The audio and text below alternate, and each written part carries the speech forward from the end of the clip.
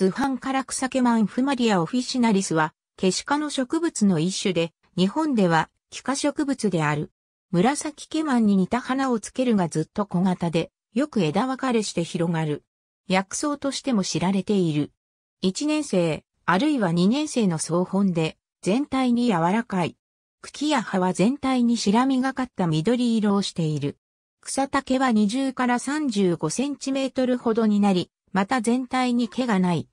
ただし茎はよく伸びると20から90センチメートルにもなり、その繊細で柔らかい茎は他の草と絡まり合って成長する。茎は太くて量があり、基部から先端まであちこちで盛んに枝を出す。葉は三回右上服用で、裂片は強皮芯型から線形で、さらに浅く、あるいは深く裂ける。最終裂片の幅は1から2ミリメートルほど。夏季は春から夏にかけてで、分子した枝先に多数の花をつける、相乗果樹を作る。一つの果樹で、花数は10から30個ほど。個々の花は小さなつぼみの時期には上を向いているが、開花の頃には花柄が曲がって横向きになる。額片は2枚で楕円形。長さは1.5から2ミリメートルで少数の深い葉があり、下から花びらを支えるようについている。花弁は4枚、部分的に互いに合着して筒状になり、先端部がわずかに開く。上側の花びらの基部は膨らんで袋状の毛を作っている。他の花びらもこの弁とほぼ同じ長さを持ち、全体で左右相称な形となる。花の長さは今日含めて8ミリメートルほど。花弁は淡紅色から高視色で先端部がやや色濃くなる。おしべは6本あるが、それぞれ3本ずつ花糸の部分が合着しているために、見た目では、おしべは2本で、それぞれの先端に薬が3つある、という風に見える。めしべは1個で、脂肪は楕円型をしており、その先端から細い花柱が出て、先端は T 字型の中東となっている。中東は四光色になっており、小さな花弁のように見える。脂肪と花柱は花糸に、中東は薬に挟まれた形になっている。花柱は受粉の後に脱落する。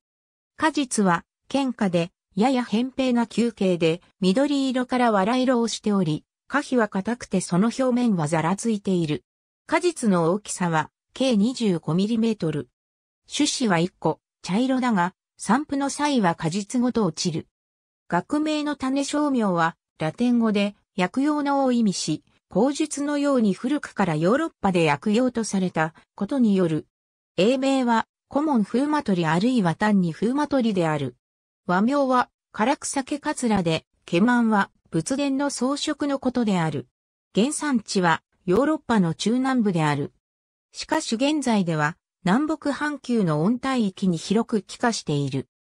薬用に栽培されることから日本では明治末期に持ち込まれたもので、気化植物として発見されたのは1969年に北海道札幌市での発見が最も古い。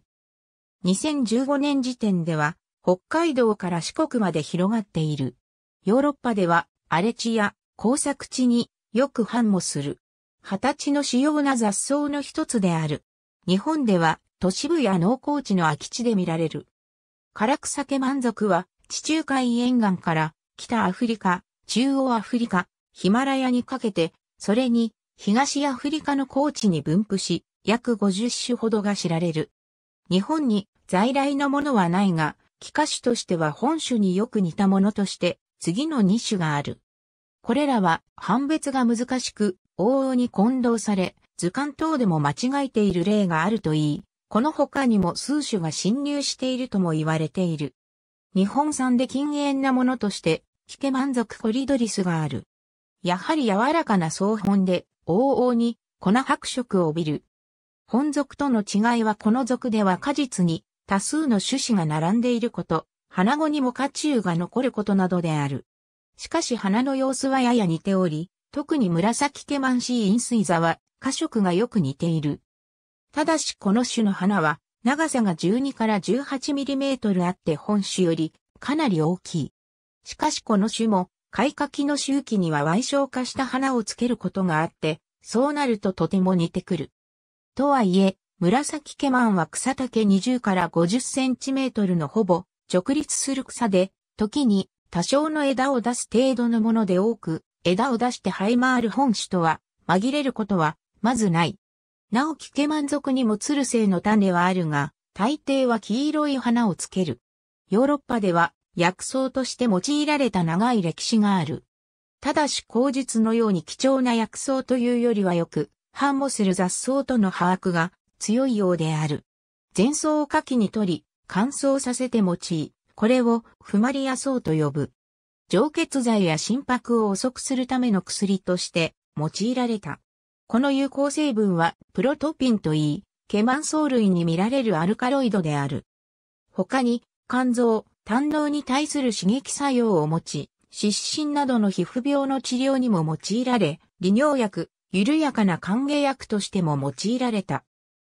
しかし、同時に使用法によっては、独創でもあり得るらしく、ダウンシー、ラーションには、本種ではないが禁煙種の西洋援護作が取り上げられており、これはむしろこの群の代表として掲載されているようで、ある。科学的な分析では、アドロミダスン、キャプトシーン、フーメリライン、パーフーミン、プロタパイン、フマラニネ、パプラフミッチン、パプロリンといったアルカロイドが存在することが確認されており、また薬理学的に苦中効果、解熱効果、並びに血糖低下作用があることが示されている。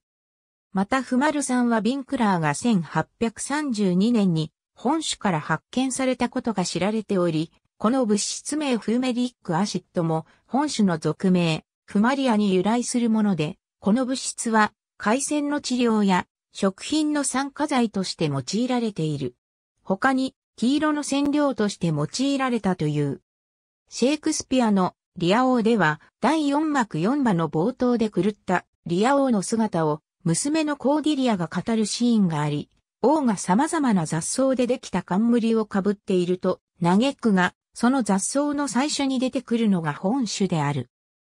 ここでは、本種は手入れ不十分な葉立ちや荒れ地に繁茂する野草、穀物の大敵となる雑草という存在であり、狂ったリア王の頭をそれが飾るのは、キリストの受難を象徴する、茨の冠を思わせるものであるが、同時にこの植物が憂鬱症に効くとされていたことから、王の受難と狂乱が正気、海岸をもたらす、この劇のアイロニーにも通じるものである。ありがとうございます。